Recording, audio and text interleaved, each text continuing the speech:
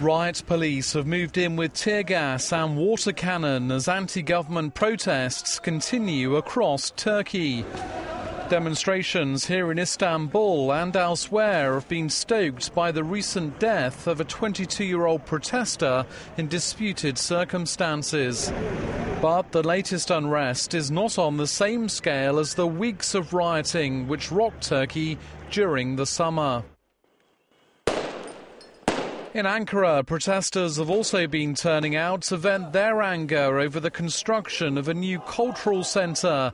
It's set to house a Sunni mosque alongside a prayer house for a minority Shiite Muslim community.